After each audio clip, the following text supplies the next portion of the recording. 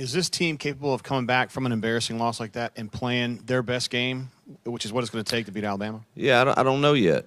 Um, sure hope so. Um, that's part of you play this game or coach this game long enough, you're going to have some of those, and how you respond to it will will determine a lot about you as a team and as a person. And um, I wish I have had a better pulse for that, but I haven't seen them yet. And um, met with the culture council this morning. I like their response, um, but um, you know that, that that's going to be a good test for all of us to see how we respond.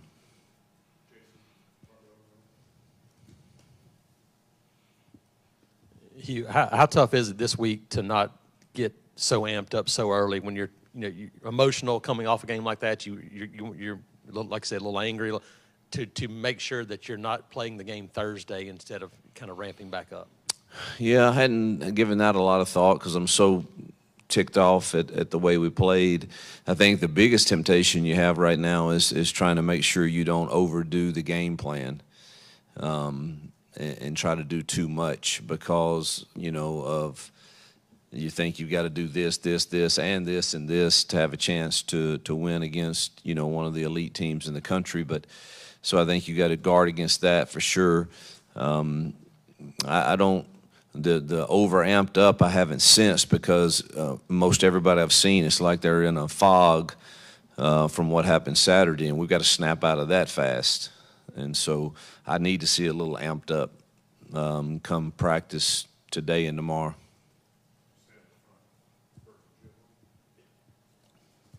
Hugh, you guys on the offensive line and on the defensive line too had played so well against Arkansas and then against New Mexico State. Like it just, you know, kind of reversed. What, what do you think was the biggest reason for that, especially uh, on the front after after coming off such a good dominant performance in the trenches, you know, last week? Yeah, lesson in humility, for sure.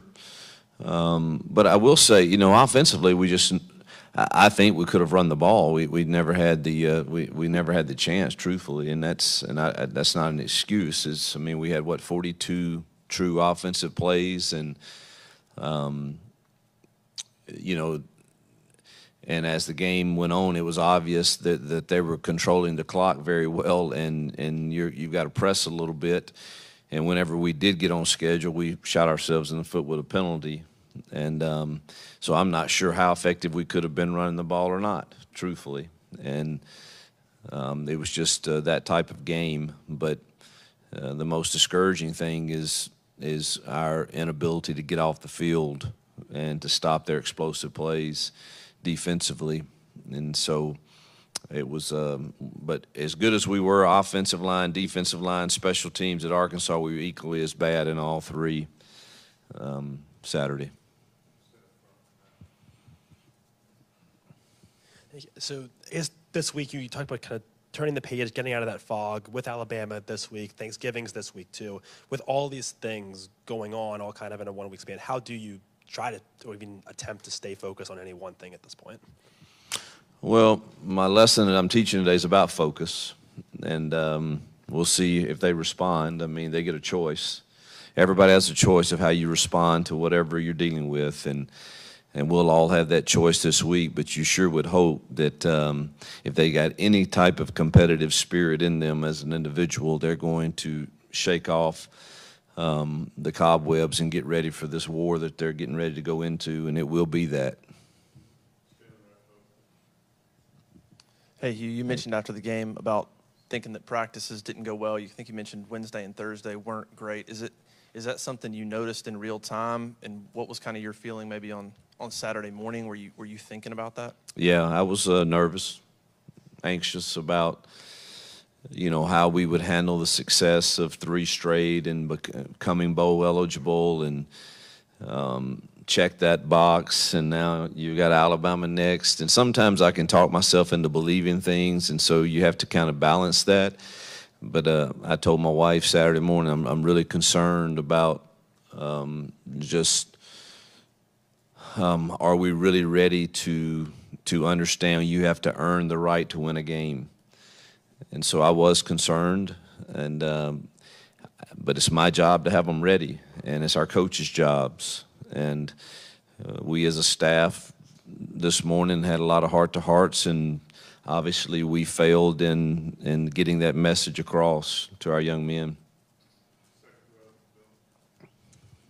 Talk about the task of uh, defending Jalen Milroe, who is so dangerous with his legs as well as with his arm.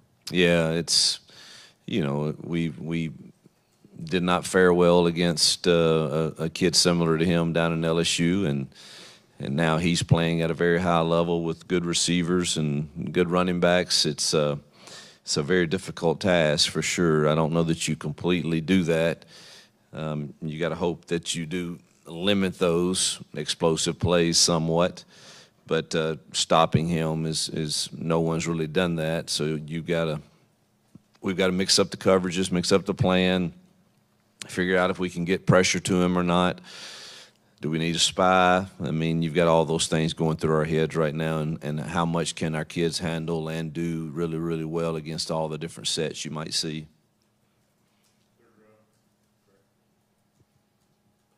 Coach, switching gears just a little bit, this is the 10 year anniversary of the kick six. I'm just curious if you remember where you were at for that and what you remember about that game. You know, I was trying my best. I, I, I don't think that I saw it live, uh, or I, I believe I would remember that vividly. So we must have been either on a playing at the same time or on a flight back or something. I can't remember, but I do remember um, once I first saw it and found out I couldn't wait to call Gus say, "Man, you got to explain to me how in the world that felt." Um, that's got to be one of the all-time, maybe the all-time greatest finish in college football. Uh, you you got to. It's definitely top three, I would think. But um, man, what a, what a finish that was.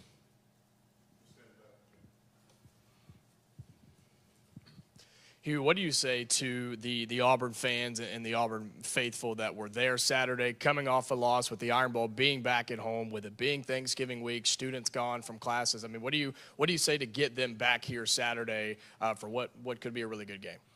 Well, you know, the Auburn, Auburn faithful are they, they, they're they're they have persevered through through a lot of things, and they show up. And um, you know, I, I've already apologized a hundred times um, for the effort that uh, we did not give them Saturday, and uh, you know, this is not the first program in year one to to have some tough losses like this, and I could go down the list and mention some, but you probably know who they are better than I. Um, but we're in a rebuild. That's no excuse for what happened Saturday. But um, man, we expect uh, to give you the, the best of ourselves come Saturday in the Iron Bowl, and so we appreciate all the times you give us your best. And I know this Saturday will be no different for them. Coach, you already mentioned about the run game from this past Saturday, but heading into this week, what is it going to take for you guys to get that going, especially going against an Alabama defensive front like how they've been? It's playing? hard. You know, no one is, uh, no one's running too much on that defensive front. Um, we'll have a good plan, and our backs are good, and our tight ends are good, and our old line is is is competitive. Um, but we do need to establish a run game. Um, it, it will be no fun if you're having to drop back and throw every down. That that won't work. 15 and 41 um, off the edge for them are both really really good. Um, so it's uh, uh, we we need to stay balanced and um, and make them have to at least honor the the run game. Hugh, you've coached against Nick Saban a number of times when you're at Ole Miss, and you've had success against him. When you're game planning for a Nick Saban coach team, what are some similarities that throughout the years his teams consistently do well? tackle, um, mix up coverages. Uh, fronts are, are, haven't changed much. There's not a whole lot you can do with that. Uh, he's got a few more coverages that he runs now, um, but his teams are always physical and they're always going to tackle well, and um, you you see that very vividly on these tapes also. Hugh, you mentioned Jerry Kill's game plan. What was it, maybe just particularly on offense, that made it so difficult to adjust once you kind of saw what they were doing defensively? Was it mostly time of possession? I guess. So what other factors do you think there were? Yeah, the time of possession killed our offense for sure, um, and the opportunities we had. But defensively, um, I, it's more missed tackles than we've had the last three games combined. Um, we misaligned more times. Uh, the focus that uh, we had, obviously, for the game plan was lacking. And, um, you know, that's, we, we didn't get it done. And it wasn't a whole lot of adjustments to do. They didn't do a whole lot. Um, but man, you got to give them credit when they did have a chance to make a throw in a tight window and make a catch in a tight window to convert a, a third down or a fourth down or a score. They made every single play. And so give them credit for that. But uh, we, we tackled so poorly. Coach, I know you said that you're giving a message on focus today. As you lead into the Iron Bowl, for you personally, what's going to be the marker that your team is progressing in the right way after you have these discussions? Uh, I think I don't think I'll know that until after Tuesday's practice. But Tuesday's practice needs to be physical. It, it needs to set the tone of what this game's going to be like, and you're you're going to get punched in the mouth in this game, and you better be ready to respond. And it's it's going to be a physical test of your will and of you physically also. And so Tuesday needs to needs to. It can't be that totally, but it needs to set that tone.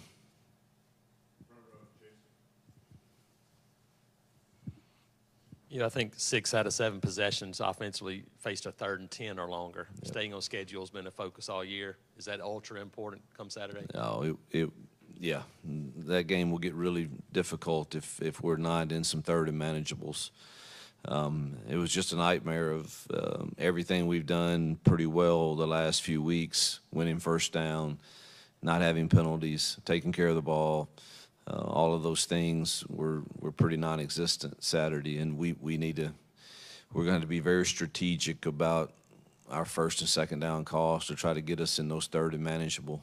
I mean, they're I don't know. I saw their their stats on third down are pretty dang good.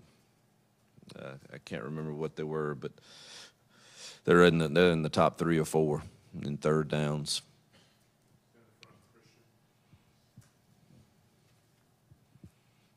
Hugh, with signing day coming up, how important is this weekend to get guys on campus and try and make a lasting impact? Yeah, that's it. We expect to have um, a plethora of great players here, and uh, it will be our opportunity to present to them one last time before the season ends how great the atmosphere is at Auburn, how great our fans are, how great this atmosphere, this family, um, uh, the Auburn family is to be a part of. And hopefully we can uh, we can solidify you know all the ones who are currently committed and maybe swing a few others to say man I want to go help them build something there. I know they can. They have the resources. They have the support. Uh, we just we need some players to come join us